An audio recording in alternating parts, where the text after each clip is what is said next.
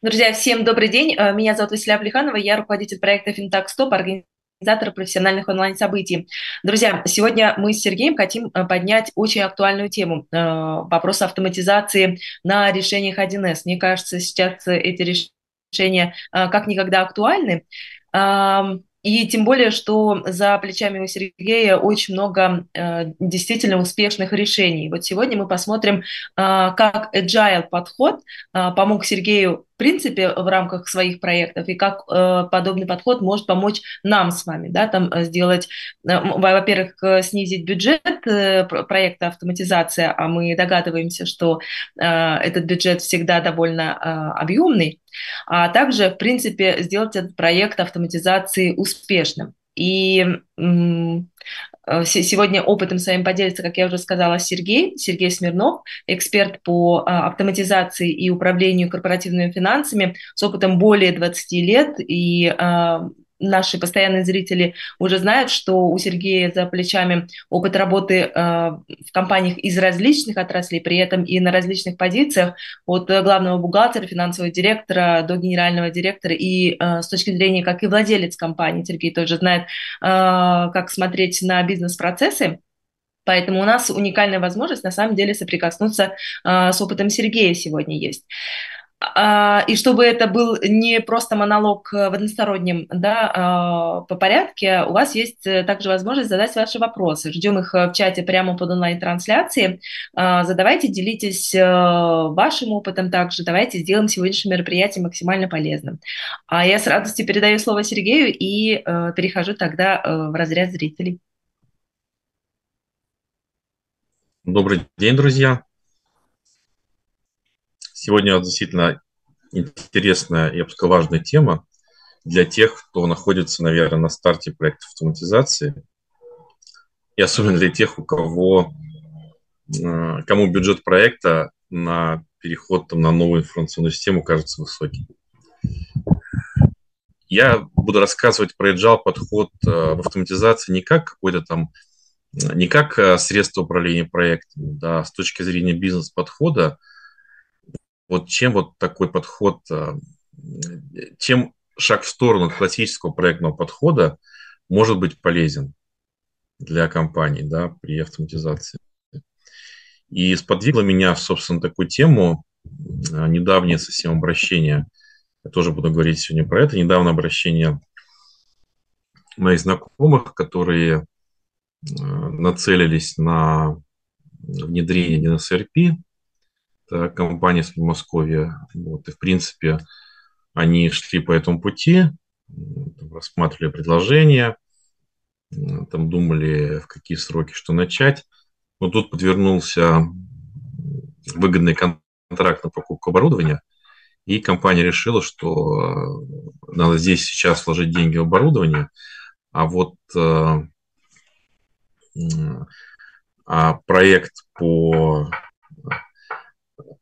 по автоматизации может подождать. Сейчас, одну секунду я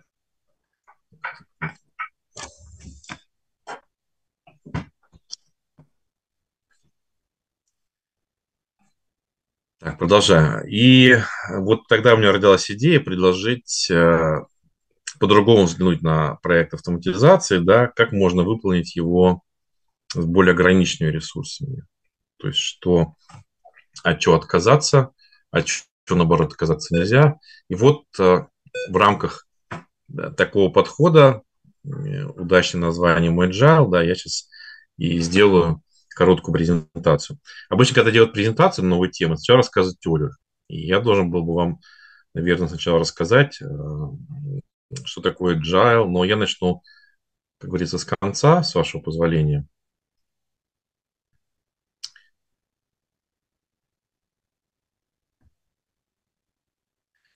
Так, у вас сейчас на экране должна быть презентация. Я расскажу про один из примеров использования этого подхода в Институте Мирбис.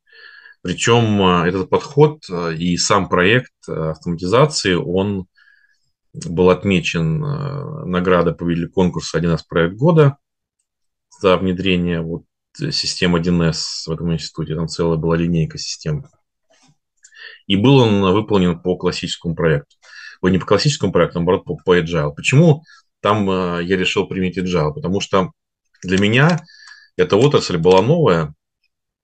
Когда я пришел на автоматизацию в Институт Мирбис, у меня до этого не было э, работы, опыта работы с образовательными организациями. И э, те предложения по автоматизации института, которые мне выдвигали потенциальные подрядчики, да, я даже не мог их оценить.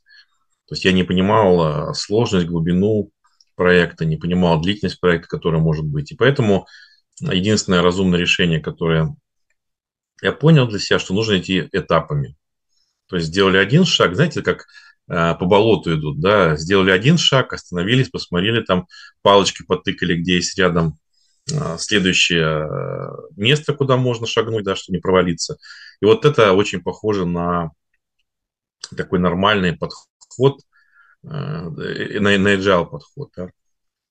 А что, что мы хотели добиться в институте? Там было большое количество, прям так называемый зоопарк информационных систем. Да, была бухгалтерская система 1С, все остальное велось в Excel, в Access, э, различные базы данных, э, двойной тройной ввод информации. Нет нормальной аналитики никакой. А, руководство и учредители э, образовательной организации ставили задачу наладить учет э, финансовых результатов в разрезе подразделений. То есть нужно было уметь аллоцировать расходы там, общехозяйственные, расходы на зарплату условно бухгалтеров по каким-то нормальным вменяемым методикам, аллоцировать по этим подразделениям. И это все делалось, э, это все не делалось никак, да, потом стало делаться в Excel, и нужно было максимально э, сопроводить этот процесс системами 1С. Соответственно, и один эффект проекта был то, что люди, которые тратили время, сотрудники, которые тратили время на перебивку информации 2-3 раза, да, они теперь стали вместо как это, набивальщиками цифр, они стали иметь более интеллектуальный труд. А приведу такой пример. У нас бухгалтер раньше отвечал там, за общехозяйственные расходы, отражал информацию в системе, и в бухгалтерске, потом в Excel вел э, свой определенный учет. Вот. А после внедрения системы, соответственно, у него трудозатраты на учетные операции снизились, и человек стал, взял на себя и закупки общехозяйственные. Он бюджет делал общехозяйственный бухгалтер, представьте себе, да и формировал заказы в Комус, например, на поставку констовара. То есть вот э, из-за того, что у человека освободилось времени с помощью автоматизации, да, мы не уволили ее, а мы дали ей дополнительные задачи.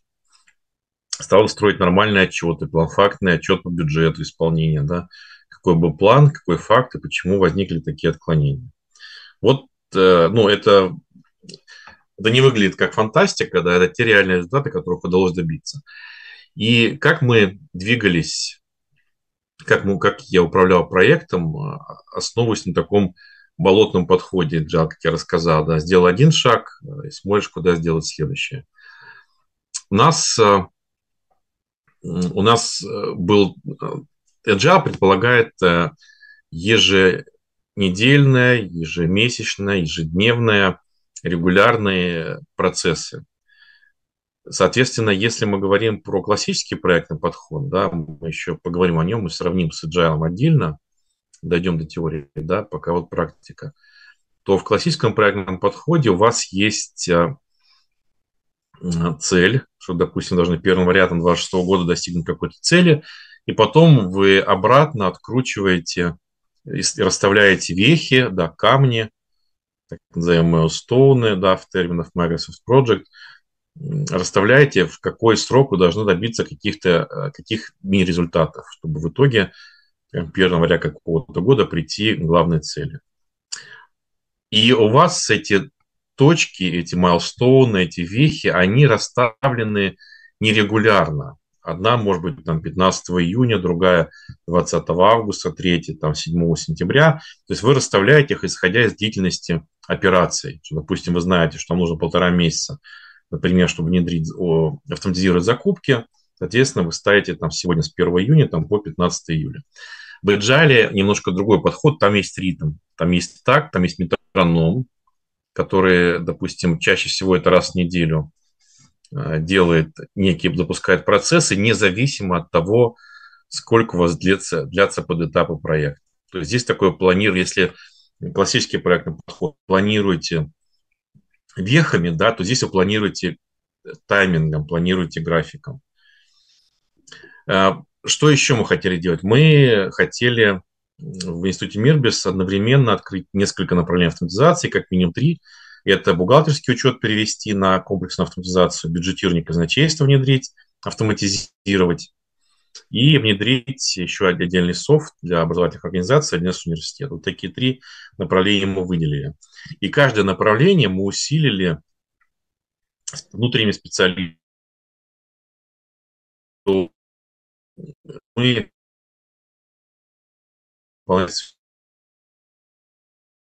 сад брать не будем, да, мы будем покупать то, что касается аналитиков, то, что касается, собственно, людей, которые работают с системой, с ее функционалом, вот этих людей мы должны были вырастить у себя.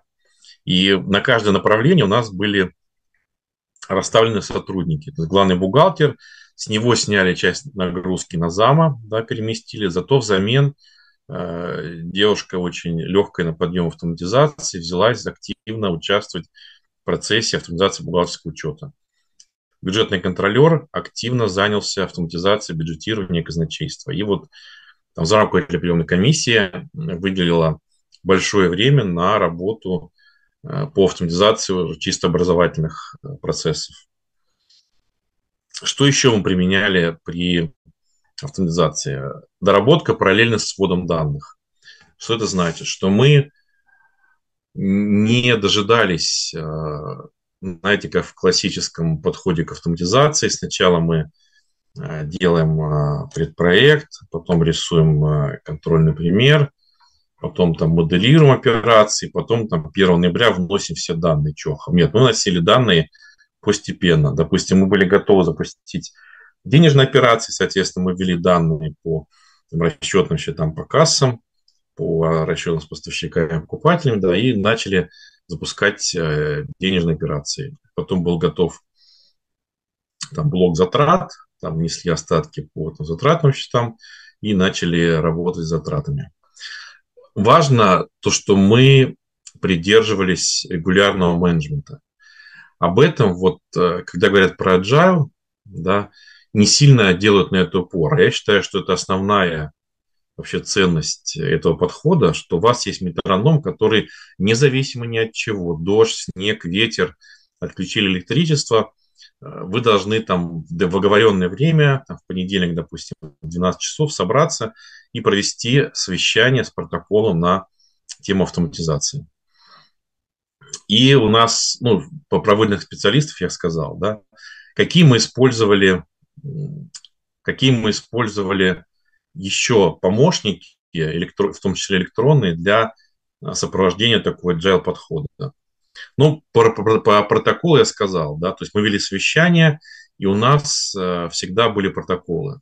Причем в протоколах мы не расписывали подробно Э, кто что сказал, да, в этом не было необходимости, мы расписывали ближайшие задачи. То есть основная задача совещания, основная задача протокола – это сформировать план на следующую неделю, ну и понять, как был выполнен план предыдущей недели. Вот а, такими, то, что называется, принтами мы двигались. Дальше у нас были активные WhatsApp-чаты.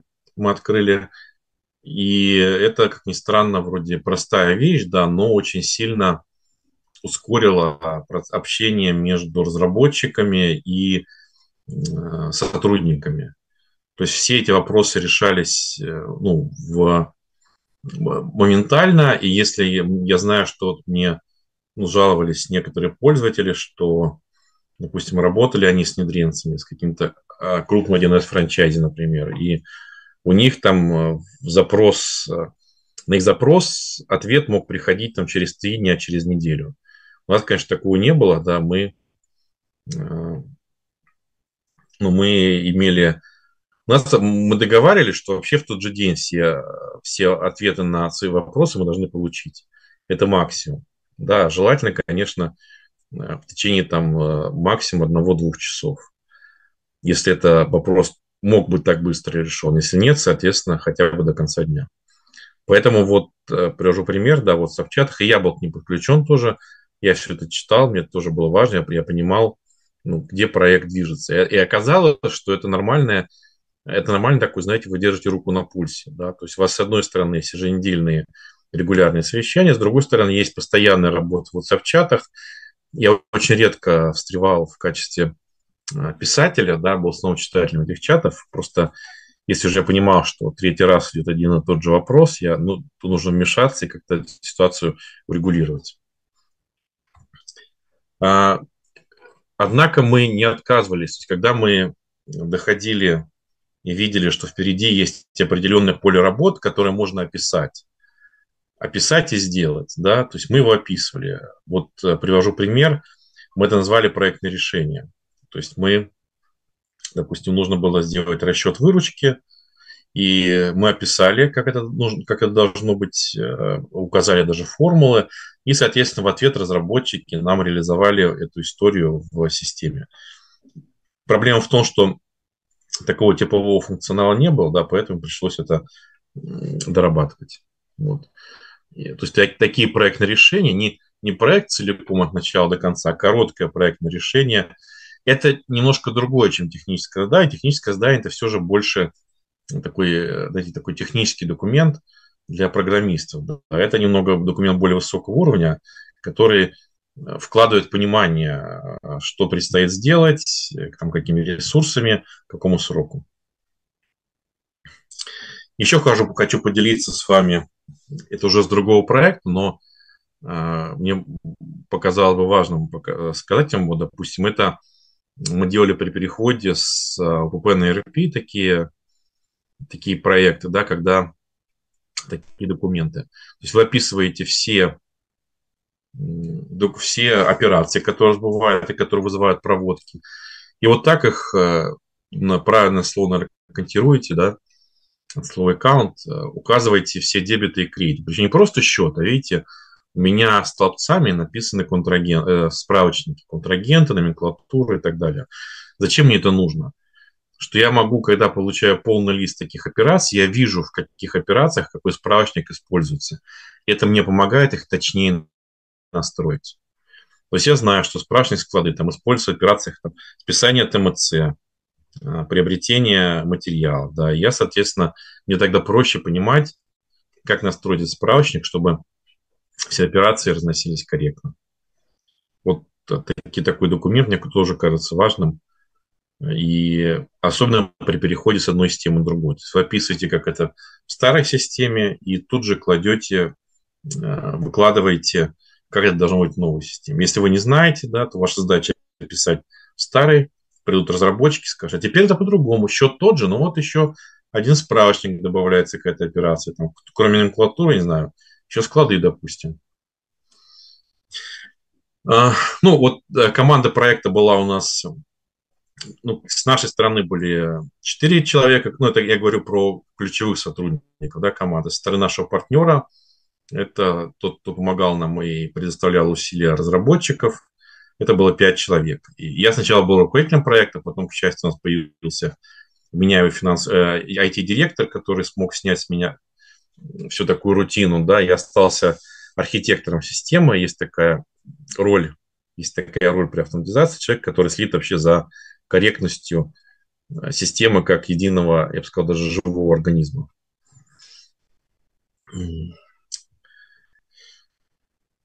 А теперь давайте немножко поговорим, э, в чем отличие классического проектного подхода от подхода Agile как в нашем мире не бывает ничего, мир не черно-белый, он серый, да, поэтому нельзя сказать, что это плохо, это хорошо.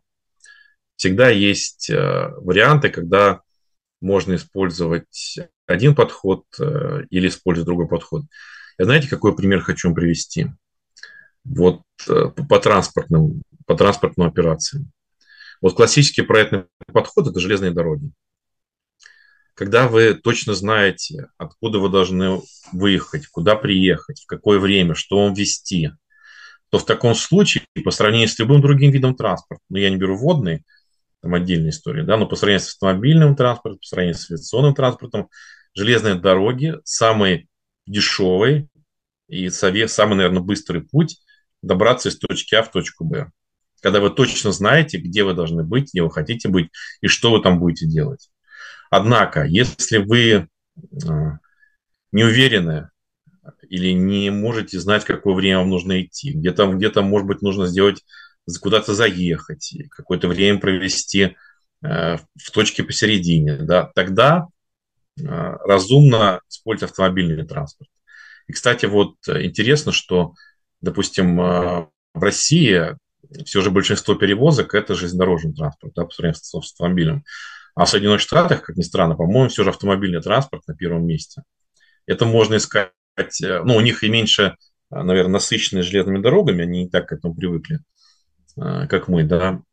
Но все же интересный такой подход. И вот, если мы говорим про классический проектный подход, это железная дорога. Вот, когда вы можете простроить путь, и вы по нему уже ездили не раз, допустим, до этого проехались сначала на машине, потом поняли, что все нормально, можно запускать поезд. А вот agile подход, когда есть некие сомнения, некие и варианты, да, что можно так, а может быть так. И вот тогда это используется agile подход, или, я как это говорю, автомобильный транспорт. Вот, наверное, самое простое. Я не, ну, не буду подробно рассчитывать. Еще, кстати, да, вот что интересно, что про бюджет. А если мы говорим про классический проектный подход, то в нем чаще всего Э, фиксируется бюджет. И э, большинство франчайзи, по крайней мере 90% из них, любят максимально работать с этим подходом, когда известна граница проекта, есть техническое задание, есть бюджет проекта, стоимость проекта, и вот они в этих рамках работают. Им сказали, что нужно 1 января 2026 года запустить, 2025 ну, года запустить информационную систему 1С ERP, это будет стоить 20 миллионов рублей, вперед, э, старт на завтра. Вот они любят очень такие истории, потому что они начинают там рас, раскручивать свои классические проектные методологии, ставить вехи, что 1 числа, там, 1 сентября мы должны то-то от вас получить. Но жизнь более гибкая, и все же проекты внедрения 1С-систем, несмотря на то, что все мы, ну, большинство, там, да, на 60% или 50% внедряет в России сейчас 1С-ERP, да, или 1С комплексная автоматизация, что вырезка из нее является, или 1С управление торговлей, что тоже является вырезкой, по сути, из 1С э, да, частью ее определенной. Вот, э, большая часть внедряет какую-то из этих трех систем, и несмотря на это, все равно каждый проект уникален по-своему. Вроде бы всего три системы, да, но вот каждый уникален. У меня не было ни одного проекта, который был похож на другой. Все, в каждом есть свои изюминки, я так сказал. Поэтому, если мы говорим про agile подход, да, и вот сейчас вернусь, еще до этого дойдем. Какие четыре ключевых вообще а, ключевых лозунга agile подхода? Люди взаимодействие важнее процессов инструментов, Работающий продукт важнее исчерпывающей документации, сотрудничество с заказчиком важнее контракта и готовность к изменениям. И я бы, пожалуй, сказал, что самое важное из всего этого – это готовность к изменениям важнее следования первоначальному плану. Если вы идете внедрение классическим проектным подходом, что любят, как мы сказали, 90% потенциальных подрядчиков в 1С франчайзе, то любой шаг, э, как это, шаг влево, шаг вправо, да, попытка к побегу. То для, них, для них любое отклонение от проекта является э, необходимостью пересмотреть весь проект целиком. То есть вы в течение проекта говорите, ой, я забыл, нам еще бюджетирование нужно сделать. О, теперь мы начинаем двигать сроки, стоимость и все остальное. Вот здесь хотел бы, зафиксировать, хотел бы обратить внимание ваше на такую картинку. И ну, как это, помедитировать, подумать над ней, да.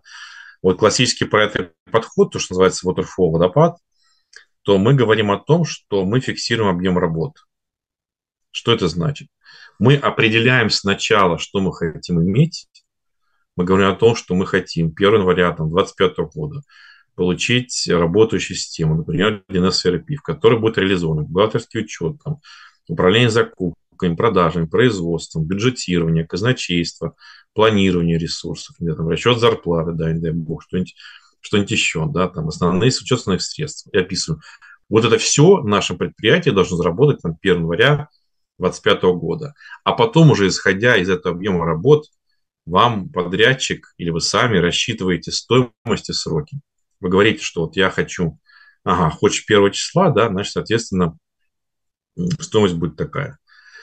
То здесь фиксируется объем работ, а уже определяются сроки и стоимость. Это может быть вилка тоже. То есть хочешь быстрее, обычно э, требуется дороже, да, хочешь дольше, может быть дешевле. А в agile подходе наоборот. Вы говорите, что я не знаю, когда это закончится. Я не знаю, к, к чему в итоге я смогу прийти. Я не знаю, э, смогу ли я, хватит ли мне денег внедрить бюджетирование, по крайней мере, в первый год или во второй, да, или отложить на более, э, как это, на более продолжительное время. Но я могу на это выделить вот такую-то сумму. И скажите мне, мои уважаемые подрядчики, что за эти деньги я могу сделать?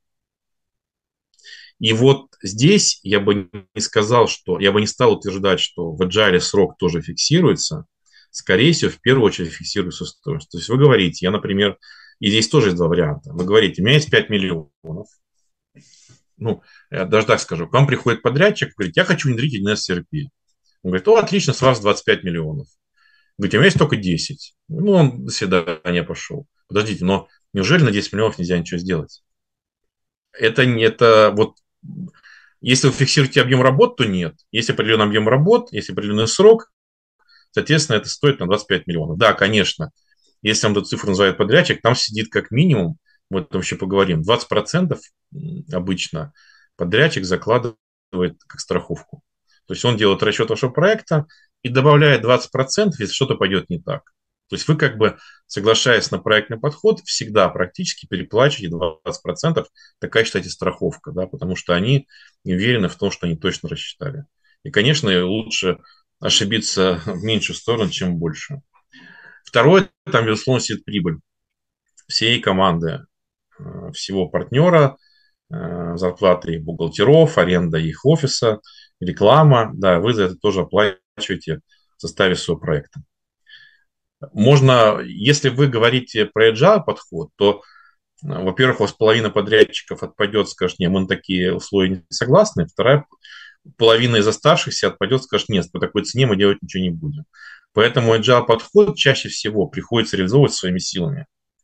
Соответственно, это влияет на сроки. Обычно это удлиняет сроки. Потому что вам нужно найти людей, протестировать их. Один ушел э, там, декрет, нужно искать другого. Да, это обычно приводит к увеличению сроков. Но чудес не бывает. Это может привести к сокращению стоимости. Во-первых, потому что вы не платите страховку 20%, во-вторых, потому что вы не оплачиваете затраты на рекламу и на прибыль вашего подрядчика, да, вы работаете непосредственно с персоналом, который нанимаете в штат или там по а, ИП или ГПХ или самозанятых приглашаете. Это вот всегда такой выбор. И опять же, я повторюсь, что как и с транспортом нельзя сказать, какой транспорт лучше, железная дорога или автомобильный транспорт. В каждых условиях свой. Если у вас, а, я так хочу сказать, если у вас открытый кошелек и достаточно денег, чтобы сделать проект а, классическим проектным подходом, но сказали 25 миллионов, говорит, ну, 25 так 25. И пошли заниматься своими делами. Вот, наверное, тогда вам, вам не нужно э, влезать в усложнение типа agile, а идти классическим проектным подходом, и просто соображать грамотно, чтобы тот график, которым был заявлен в начальном этапе, соблюдался. Потому что а, классический проектный подход несет не меньше рисков, чем agile, а может даже больше. А agile, да, если у вас не хватает денег, или вы хотите это все же собственными силами, или вы не знаете точно, в какую точку нужно приехать, то есть э, вы не можете оценить, э, бюджетирование понадобится, может, вам в Excel проще будет остаться его делать, чем платить, словно говоря, 5 миллионов за настройку модуля бюджетирования. Вот тогда это agile. Эти философские выражения мы с вами уже обсуждали. Давайте поговорим немножко, что это значит. Сейчас, э, извиняюсь. Люди взаимодействия. важнее, чем процессы и инструменты. Это лозунг. Под него я пытаюсь э, своими словами рассказать, как я его интерпретирую. Я говорю о том, что должны быть agile команды. С одной стороны, это реальные самоорганизующиеся команды. Это команды, которые, собственно, являются командой проекта. Это непосредственно исполнитель проекта. И у них такт ежедневный. То есть они должны ежедневно встречаться, то, что в agile называется стендапы, ну, всем обязательно слово употреблять, да, то есть ежедневные встречи, в которых они друг с другом э, сопоставляют свои цели и задачи на ближайший день, чтобы быть единой командой. И есть следующий такт недельный, когда уже к команде присоединяются сотрудники там, ключевых подразделений, которые автоматизируют. Да? Вот они тоже участвуют в таких регулярных совещаниях, но уже еженедельно, а не ежедневно. Следующий лозунг – работающий продукт важнее исчерпывающей документации. Здесь я скажу несколько вещей. Первое, когда мы говорим про автоматизацию, с чего начать? И если мы задумаемся о цели, собственно, создания компании, то цель компании – это сделать из деньги деньги штрих, да, как говорил Карл Маркс. И для этого существует цепочка добавленной стоимости. Практически в любой компании, по крайней мере коммерческой, она выглядит как закупки, производство, продажи. Даже в торговой компании есть блок производства, там перепаковка, перемещение со склада на склад, да. То есть всегда есть что-то, даже в услуговой компании, даже в образовательной компании Мирбис есть тоже, да, производство, когда вы закуплены преподаватели часы смешиваете между собой, чтобы получить какой-то продукт образовательный. Это тоже производство. И вот эта цепочка добавленной стоимости – это основное, ради чего компания создавалась. Основные средства, расчет зарплаты, бюджетирование – это все вторично. Важнее цепочка добавленной стоимости. И разумнее, конечно, автоматизацию начинать с этой цепочки.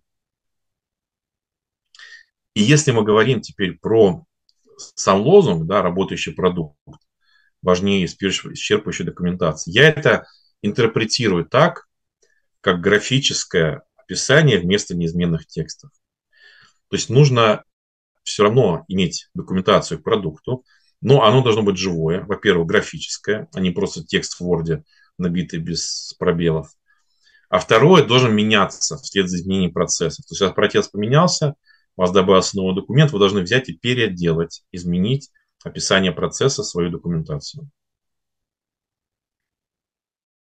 Готовность к изменениям важнее соблюдения первоначального плана. Я здесь, знаете, приведу пример на э, денежный пример про бюджет. Вот здесь мелким шрифтом написано, да, какие-то, ну, не какие-то детали. Я, я так об этом скажу, что в компаниях обычно не один проект открыт. То есть, кроме проекта автоматизации, может быть еще проект там, переоборудования, проект модернизации, может быть проект там, постройки новых помещений, может быть проект там, какой-то рекламной кампании. Да? И все эти проекты, включая проект автоматизации, борются за внимание руководства и учредителей к деньгам. То есть бюджет, э, кошелек не резиновый, поэтому всегда чаще всего приходится как бы выбирать, что сделано в первую очередь, что во вторую. И вот а, возможность, а, когда мы говорим про agile подход, вас проект автоматизации становится на одну полку с другими. И вы выделяете деньги не сразу там 25 миллионов, там, или 50 или 100 миллионов целиком на проект, а можете делать постепенно. То есть сейчас есть миллион, вот выделите миллион, сказать, э, э, мои дорогие команды проекта. Вот на ближайший, на ближайший месяц и на ближайший квартал я могу вам выделить миллион рублей. Будьте любезны, сделайте максимум полезного из этого миллиона. Это совсем по-другому вопрос звучит, чем, э, чем вам приходит, так, мне нужно 100 миллионов, делим на 12 месяцев, получается по 8 миллионов в месяц. Если будет не 8, а 5, я проект прекращаю. Вот нормальный подход, да? Нет, здесь по-другому стоит. Здесь наоборот говорится, сделай максимальные за выделенные ресурсы. И вот э, я думаю, что за таким подходом ну, будущее у тех компаний, которые не готовы открывать свой кошелек э, по каждому поводу, да, которому пришли, там нам нужно сделать автоматизацию. С вас 50 миллионов. Почему 50? Ну ладно, 50 так 50. Кто готов таким образом расставаться с деньгами, да, свободно, Ну, есть для этого такой классический проектный подход. Кто хочет разумно распоряжаться деньгами, есть такой agile подход при автоматизации. И вот еще хотел тоже привести пример. Есть несколько agile, это вообще это идеология, да, но есть несколько методов, которые исполняют идеологию. Один из них Scrum, есть там разные другие, в том числе Kanban, допустим, широко известный в узких кругах. Но вот Scrum является и в России, в мире 58% компаний пользуются им при работе с agile подходом, в России 48, чуть поменьше. И там есть вот несколько принципов. Э, пардон за их английскую интерпретацию, да, но они вроде все более-менее понятны. И вот, кстати, хочу сказать, value, внизу value-based prioritization, да, что вы расставляете приоритеты, исходя из ну, оценочной стоимости. Вот здесь как раз я и говорил о том, что цепочка добавленной стоимости должна автоматизироваться в первую очередь, автоматизироваться в первую очередь. Не основные средства и зарплаты, а то, что приносит деньги компании. Про таймбоксинг, да, еще хотел сказать такую интересную вещь. Это э, выделение времени. Время тоже деньги, и если вы делаете проект собственными силами, то это ваши прямые расходы, да, участие команды проекта в автоматизации, потому что это их зарплата. У них там есть часовая ставка, они вот ее получают. И поэтому здесь важно выделять определенный резерв времени. То есть если вы, я так часто тоже, кстати, делаю, даже когда работаю с подрядчиками, я говорю, вот э, смотрите, у меня есть, мне нужно сделать такой отчет, но не готов тратить на это больше 20 часов.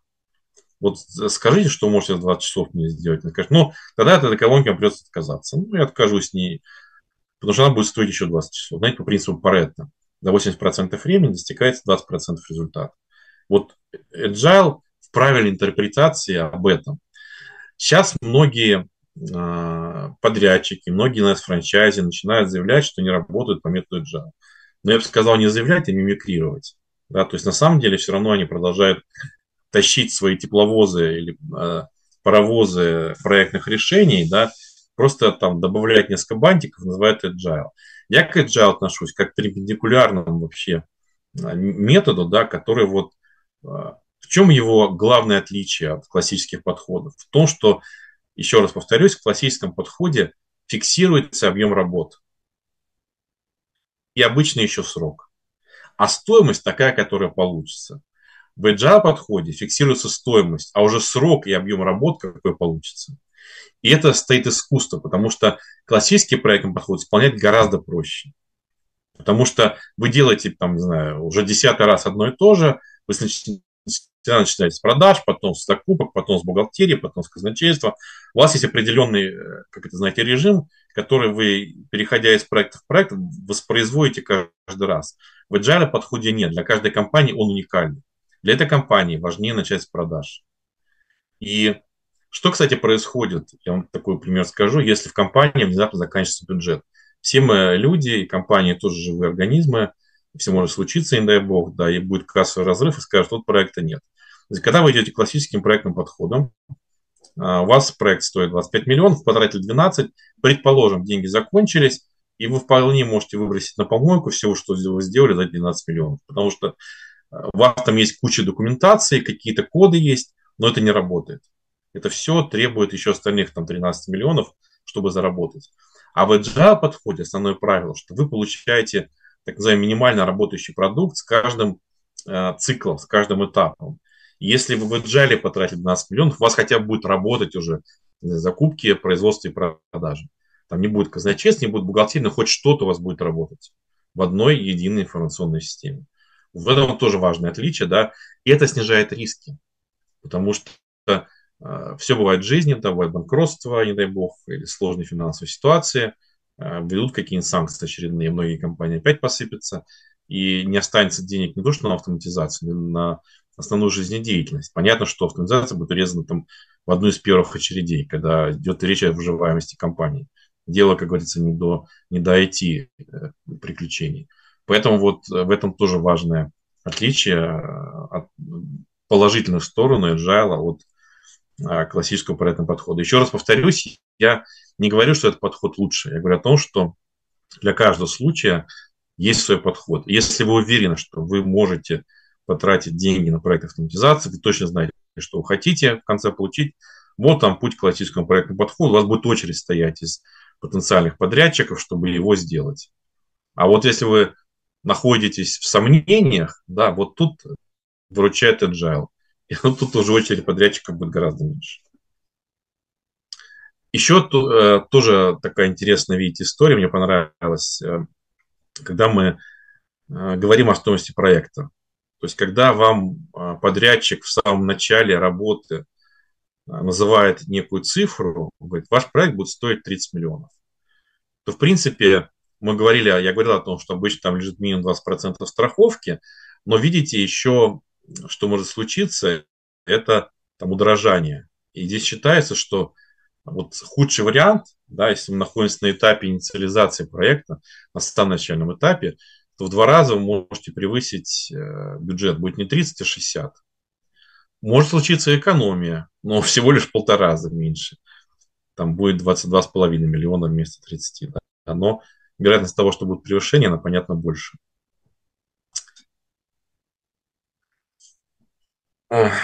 Интересный слайд. Интересный слайд, и причем он живой. Это не поленился э, представить его. История совсем свежая, да, после которой я говорил, что возникла идея рассказать об этом, э, сделать об этом вебинар. Э, проект компании, которая загорелась, у них ну, зоопарк информационных систем, у них и один из бухгалтерии, аж три штуки, хотя компания 100% белая. Э, и, и там система мой склад стоит, и люди еще бумажные карточки ведут, не поверите. И вот э, возникла идея в компании, надоело это все, давайте перейдем на 1С ERP. Ну, давайте пойдем, перейдем, посчитали, ну, я им посчитал примерно стоимость бюджета, когда все это закончится, ну и вроде они были готовы по этому пути. Ну, несложное производство, поэтому можно пройти классическим проектным подходом, то есть там было понятно, чем мы хотим получить, когда хотим получить, и просто нужно было аккуратно посчитать бюджет. Бюджет посчитали, вроде никто в обморок не упал, а потом э, компании резко предложили купить задешево оборудование, и она не смогла от такого предложения отказаться. И понятно, что э, все вот эти IT-приключения 1С, они остались на втором плане, компания принципиально в кредит не залазит, да, то есть все деньги потрачены на оборудование, э, там еще несколько миллионов, десятков миллионов на внедрение информационной системы, у них просто нет. И э, вариант, который предлагался им, то есть какую сумму вы можете выделять вот ежемесячно, то есть у вас нет денег на ну, заложить, там вы боитесь, или у вас нет действительно денег положить сколько-то миллионов на проект. Но вы же какую-то прибыль-то генерируете, тем более с новым оборудованием купленным. Соответственно, вы можете этой прибыли ежемесячно выделять определенную сумму. Вот давайте договоримся, какую сумму можете выделять. И это не миллионы рублей, это там сотни тысяч рублей, даже меньше 500 тысяч в месяц. И, соответственно, под эту сумму мы подберем вам проект. И вот эта идея была такая, видите, он совсем свежий, май, июнь, да. Это вот э, идея реализации проекта чтобы ну, как, ну, как уложиться в обозначенную сумму. Это знаете, когда вы приходите, ну, покупать автомобиль, да, вас, ну, сейчас э, автомобиль проще, потому что они, в принципе, все продаются по маркам, соответственно, по ценовым сегментам. В ателье давайте возьмем, приходите. Вот смотрите, у нас есть замечательная ткань, самая лучше, самый лучший пуговицы, отличный мастер, он по счетам костюм. Костюм будет стоить, ну да, 120 тысяч рублей, но зато будете носить его вечно, будет сделан по вашей фигуре. Вы говорите, ну нет, 120 тысяч много, а что можете сделать за 10? Или там за 20 тысяч, за 30? Ну, костюм, ткань будет попроще, пуговицы обычные, ну, со счетом не, не кутюрье, а обычный мастер. Смотрите на ткань, да вроде ткань ничего, и пуговицы ничего. Ну, давайте сшейте за 20. Потому что не всем нужен костюм за 120. Да. Есть люди, для которых... Ведь компания не создавалась ради того, ваша компания, чтобы пройти на автоматизацию. Если вы IT-компания, да, вы, то для вас это, как говорится, core бизнес, основной бизнес. Вы, а для вас автоматизация – это цепочка закупки, производства, продажи. И вы там можете вкладывать деньги То есть там будет всегда отдача. Сколько вы ни вложили, всегда будет отдача.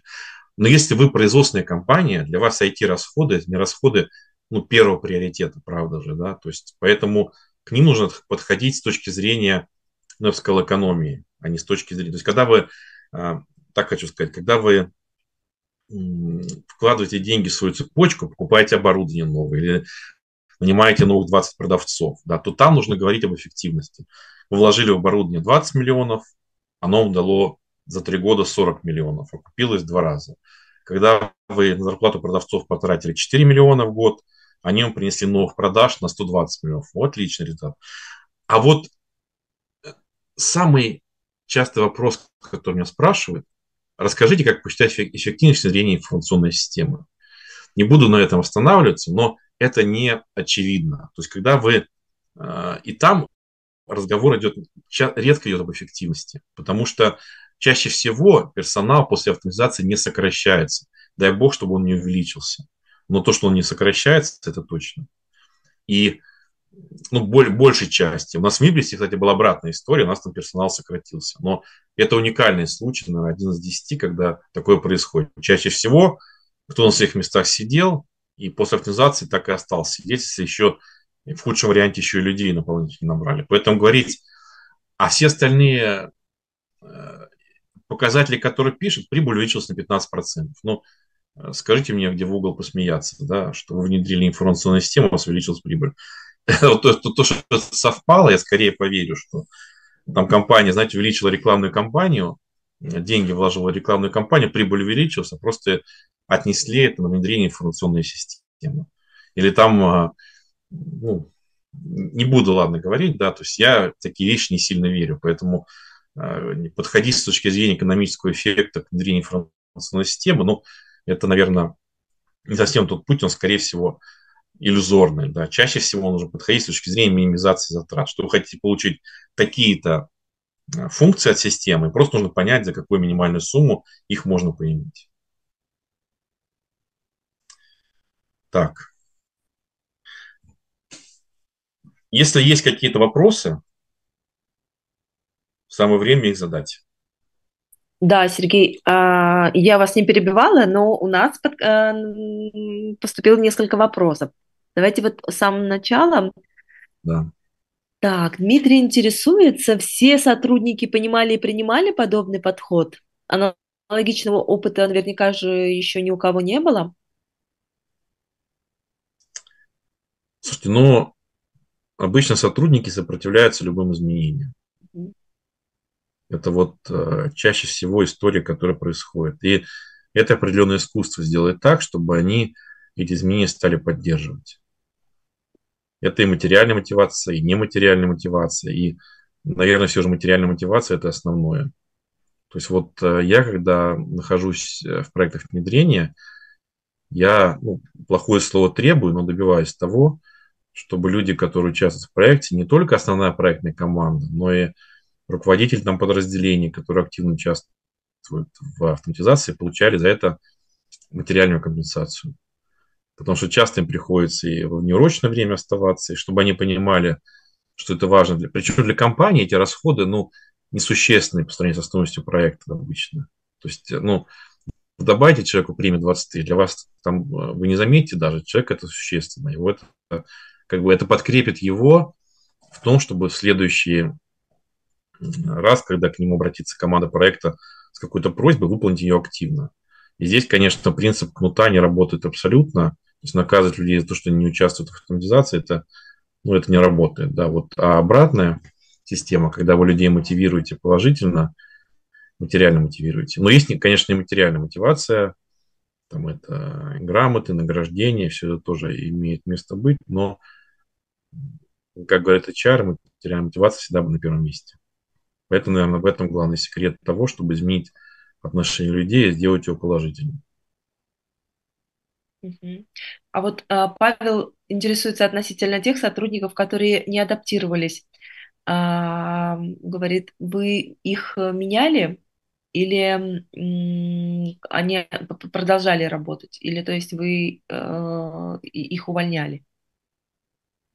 приходилось увольнять. То есть были ситуации, когда люди действительно по разным причинам. Может быть, они и хотели бы, но там, склад ума не позволяет, да, настолько уже привычки въелись в кожу, что они не готовы меняться. Ну, приходилось увольнять, да, такое тоже может быть.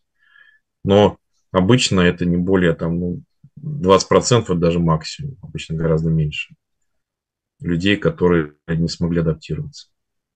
Угу. Светлана отмечает, что вообще э, подход звучит э, как действительно здравый, особенно в современных условиях. И вопрос касается, Сергей, вот по вашему опыту, зависит ли то, насколько эффективны сотрудники в agile подходе от их э, возраста, опыта? Ну, первое, что хочется, пришло в голову, сказать нет.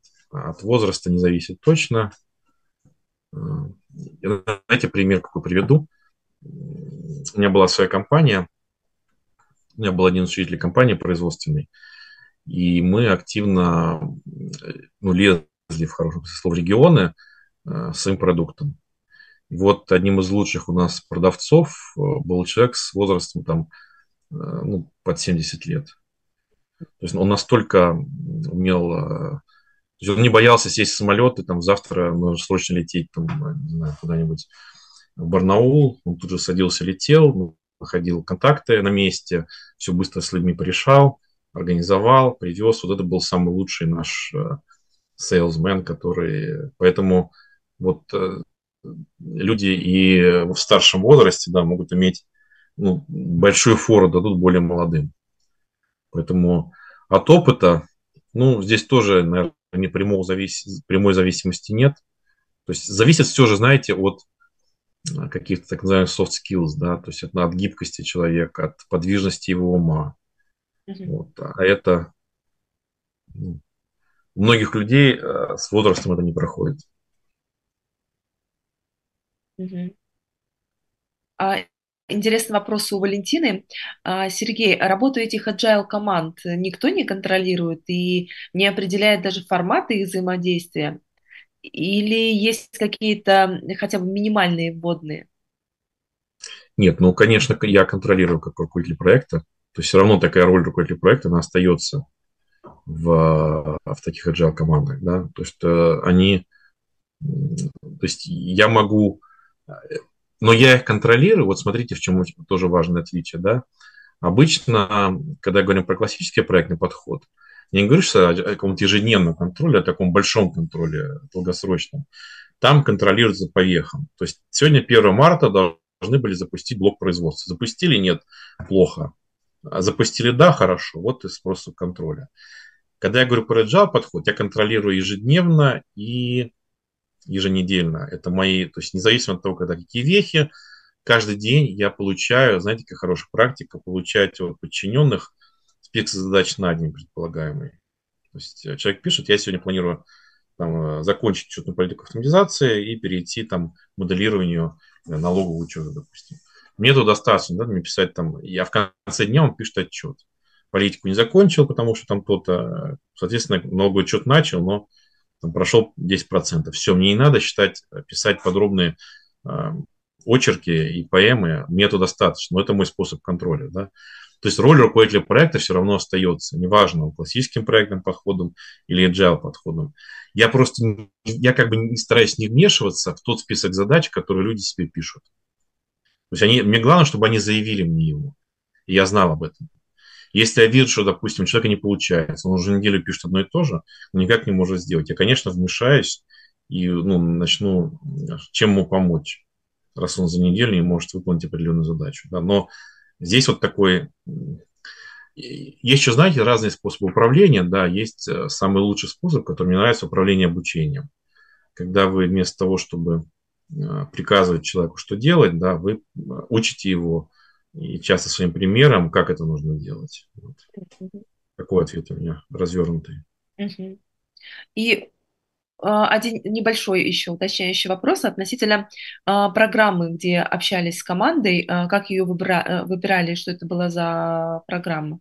Я так понимаю, это, наверное, WhatsApp был, да? Это был WhatsApp, да, простой, и электронная почта для Э, я специально, я скажу, не, стараюсь не использовать какие-то специализированные программные средства для проектов внедрения, потому что в каждой компании могут свои предпочтения. Уж WhatsApp, Telegram, электронной почтой, Outlook пользуются все. Да? И я стараюсь эти инструменты именно использовать, чтобы и моя команда на каждом проекте чувствовала себя комфортно. Потому что пришли, ой, мы это не знаем, мы сейчас начали, еще, еще не хватало обучать э, персонал компании работе с программой управления проектами. Вот э, программа, в которой моделировать инфра- бизнес-процесс, это отдельная тема, да, и тут ну, можно как бы... Чаще всего компании их нету. То есть ты к ним приходишь, они тебя чем поставишь, то и не будут использовать, да. А вот средства коммуникации, там, мессенджеры и средства там управления ну, электронной почты, оно есть. Поэтому вот лучше ничего специального не придумать, а использовать э, классические, то, что есть везде, вот так хочу сказать. Абсолютно согласна. Все, тогда пока можем двигаться дальше. У меня, да, теперь еще короткая, ну, хотите, э, нельзя, я бы не назвал это рекламной паузой, да, но скажу немного о себе. А, до того, как Прайс Торхаус ушел из России, у них, э, ну, ушел и как, или переменился, но с перемены они часть своего функционала потеряли, к сожалению, и потеряли в том числе, вот у них была контроль качества проектов, такая услуга, когда вы нанимаете подрядчика, еще нанимаете третью сторону, такого технического эксперта, да, который следит за выполнением проекта. И когда они ушли, рынок освободился, да, вот такую роль я взял на себя. И ну, позволяю себе называть себя экспертом да, по руководству и сопровождению проектами. То есть я беру на себя такие функции, с заказчика снимаю их руководство проектом, да, могу взять на себя. Либо, если руководитель проекта на стороне заказчика, а чаще всего директор IT, да, в таком случае, тогда я выступаю просто экспертом, не просто экспертом, да, который сопровождает проект. И вот не буду зачитывать детали, хотел сказать, что это один из способов э, ну, экономии. Как ни странно, добавление такого человека, оно приводит к снижению бюджета, потому что он э, понимает, как нужно, если вы, допустим, делаете внедрение с помощью подрядчика, нанимаете какого-то франчайзи, то такой эксперт, как третья сторона, играющая на вашей э, территории, да, и как бы являющийся вашим защитником, она понимает, где можно поторговаться и ну, сократить бюджет проекта, если вы идете, допустим, по классическому проектному подходу. И такие случаи у меня были, да, вот в компании в Тольятти, мы как бы мой бюджет сверхом окупился за счет того, что удалось снизить э, стоимость, э, ту, которую запрашивал подрядчик первоначально. Для этого нужны аргументы. То есть я вот не умею торговаться, знаете, как, как здесь в Турции, там сколько это, 20, 20 лир. Не, давай 15. Ну, слушайте, я, если я называю 15, я должен привести обоснование, почему. Соответственно, когда вы называете стоимость проекта 20 миллионов, вы должны, ну, если просто эти 15, он скажет, не, ну, 19 с половиной. Нет, вы должны обосновать, почему вы просите скинуть 5 миллионов. Вы начинаете копаться в деталях, копаться в расшифровке в СМИ и говорить, так, вот это мы сделаем собственными силами, это нам не надо, а вот это слишком долго, написали 30 месяцев, так не может быть, у нас все проект длится 20. Поэтому вот, э, поверьте мне, Эм, всегда, быстро слово, всегда, если вы нанимаете подрядчика, один из франчайзи, всегда там есть суммы, которые лежат как страховка, даже если вам подробно под них расписали часы. И вот э, проще договориться о том, знаете, как проще договориться, конечно, давайте мы снизим стоимость проекта на эту страховку, хотя он про нее 20%, да, то сделаем не 20 стоимость проекта, допустим, 18, а уж если денег не хватит, и вы обоснуете, почему вы 18 миллионов превысили, тогда мы добавим столько, сколько надо. Это тоже нормальный подход. И он в большей части работает, так что бюджет не превышается. Но, конечно, э, главная ценность такого экспертного сопровождения, да, и моей роли в том числе, это не сэкономить деньги, да, а в том, чтобы получить то, что нужно. Часто так бывает, к сожалению, что под деньги потраченные, время прошло, а вы смотрите на, то, на результаты и понимаете, что что-то в этом не так. Что вроде все как-то работает, конечно, по тех заданиям, которые никто никогда не читал из заказчика, да, но, но вы результатом недовольны, так можно сказать. И, и непонятно, что с этим делать. Вы нужно работать в той системе, которая вам навязали, который вы купили, да, но это не то, что вы ожидали. И вот это самая большая ценность э, вот этой экспертной работы, добиться того, чтобы, чтобы ваши ожидания были исполнены на 100%. Иногда заказчик не понимает даже то, что он хочет. Чаще всего так бывает. И тут тоже задача эксперта встать на место заказчика и понять, а что мы ожидаем получить от автоматизации, что мы хотим. Что у нас там, вы, вы слушаете э, все бизнес-процессы, понимаете, здесь провал, здесь 27 таблиц Excel, которые нужно снести и заменить э, 1С-системой, здесь то, здесь все. И вот это не всегда увидит подрядчик, но всегда должен увидеть вот такой эксперт, да, который и выявит ценность, чем для вас именно должен закончиться проект автоматизации. Поэтому качество на первом месте, на втором месте бюджет, ну и, конечно, удовлетворенность пользователей, чтобы они получили систему, с которой, ну, так называемый, не user-friendly, да, с которой работать не, просто неудобно. Ну, друзья, на этом краткий мой доклад закончен, да, поэтому я к чему э, еще раз э, подведу краткие выводы, что если а, сравнивать различные подходы к внедрению, к автоматизации, то если аналогом приводить из транспортной отрасли, то и железные дороги, да, есть автомобильный транспорт, и никакой из них не лучше, не хуже, каждый подходит строго под свою задачу. И будет глупо вести автомобильным транспортом там 300 тысяч тонн руды, да, с другой стороны, вести э, там один станок э, железнодорожного состава тоже можно глупо. Поэтому на каждый раз э, нужно выбирать, каким подходом пойти. И моя задача была показать вам, что не только железные дороги, не только классический проектный подход присутствует, а присутствует agile подход, но в правильной интерпретации, потому что часто, опять же повторюсь, люди говорят, о, мы делаем деление по agile, смотришь, там просто классический проектный подход с двумя бантиками, все то же самое. Когда вам говорят, бюджет проекта будет такой-то, срок такой-то, а причем есть agile тогда? Вот, э, когда agile э, разумно применить? Это сложнее, да, так же, как управлять автомобилем, сложнее, чем поездом. Хотя потому, что в поезде, условно говоря, нет руля, в автомобиле есть. Э, но это может быть дешевле. И этот подход подходит, да, простите за тавтологию, тому, кто не готов просто открыть кошелек и достать назначенную ему сумму и сказать, с вас 20 миллионов, ну, свой, слава богу, что не 120, отдал 20 миллионов, пошел. Но это тоже не гарантия, к сожалению, того, что вы за свои 20 миллионов получите то, что вы ожидаете. И вот здесь уже, э, кроме agile подхода, возникает еще требование к тому, что нужен эксперт. Нужен эксперт, который будет сопровождать ваш проект внедрения. Если вы особенно сделаете первый раз, если, допустим, вы финансовый директор, когда у вас за плечами уже 12 таких проектов, вы можете сами с этим справиться. Но когда вы первый раз ты занимаетесь, вы руководитель компании, собственник или финансовый директор, или IT-директор, для вас это первая жизнь задача, ну, поверьте, знаете, первый блин будет комом. Простите меня э, за такое сравнение, да. Второй вы сделаете гораздо лучше. Третий вообще замечательный проект. Но э, компания не виновата в том, что для вас это первый блин.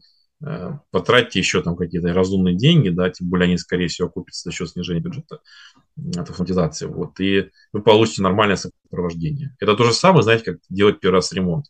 Ну, э, вы наймете рабочих э, сами на, не знаю, на каком-то рынке, заедете в Леруа Мерлен, купите краску, не угадаете с тоном краски, вы хотели зеленый, вам, вам такой ядреный салатовый цвет навязали, да, потом вам даже вслед за работе, что они покрасили то, что надо, в определенные сроки. Вы этим можете заниматься, да, но можно не от дизайнера, который все это сделает за вас. И получите просто ну, то, что вы мечтаете. И вот э, такая услуга есть, обращайтесь, и это, с одной стороны, сэкономит там время и деньги даже, да, с другой стороны, это даст действительно качество проекта, которое вы ожидаете. Спасибо, друзья, обращайтесь. Есть электронная почта Смирнов, собака Digital C4.ru. Есть э, сайт digitalcfo.ru.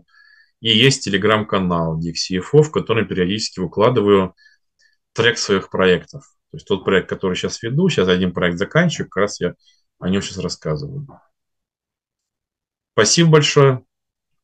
Спасибо большое, Сергей. А, вот и коллеги пишут, что у вас очень интересный опыт. И, э, друзья, э, абсолютно с вами согласна. И на самом деле, э, если это первый вебинар, который вы посмотрели с докладом Сергея, то я рекомендую ознакомиться и с другими, потому что а, то только в этом сезоне мы уже провели, по-моему, это пятый вебинар. А, если вы пропустили, то напишите нам а, в чате или а, Лене, мы обязательно поделимся, потому что действительно это опыт, который а, можно переложить а, на, на свою компанию. И новое время требует новых решений, поэтому действительно к подходу Agile я бы тоже присмотрелась. Спасибо большое, Сергей. До свидания. Спасибо. До новых встреч.